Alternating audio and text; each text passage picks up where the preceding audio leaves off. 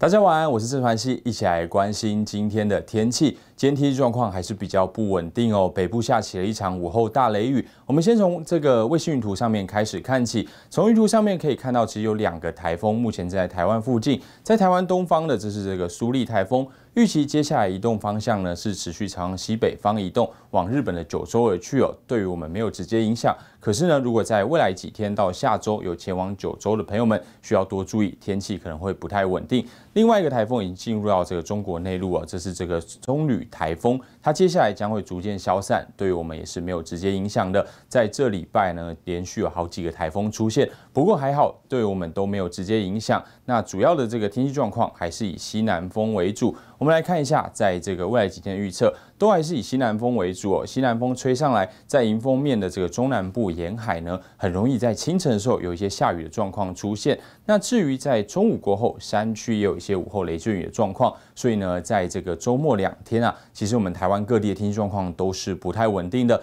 如果你有一些这个户外活动安排的话，稍微多注意一下。我们从这个降雨预测就可以看到，星期六以及星期天几乎是全台湾都有一些下雨状况。不过这种雨势呢，不是整天下雨哦，主要在中南部是以这个沿海这个清晨的时候有些下雨的情形，在这个其他地方呢，大致上是中午过后的午后雷雨为主。所以呢，在上午的时候，天气状况可能是稍微比较稳定一些的。那这种类似的天气将会持续到下礼拜哦，一直到星期一以及星期二都是会有一些下雨的情形出现。所以提醒您，如果有户外活动的话，可以带上雨具再出门，会是比较保险一些的。至于在温度上面呢，星期五今天晚上的温度，北部以及整个西半部高温可以来到三十一到三十二度左右，还是比较闷热一些。那至于在东半部呢，高温也是可以来到三十一到三十度左右。所以呢，这种比较闷热的温度状况，到了晚上都将会是持续的。但是在明天呢，因为这云量比较偏多之下，这个白天的高温其实没有上升的这么多。北部的高温大约是来到三十二到三十三度，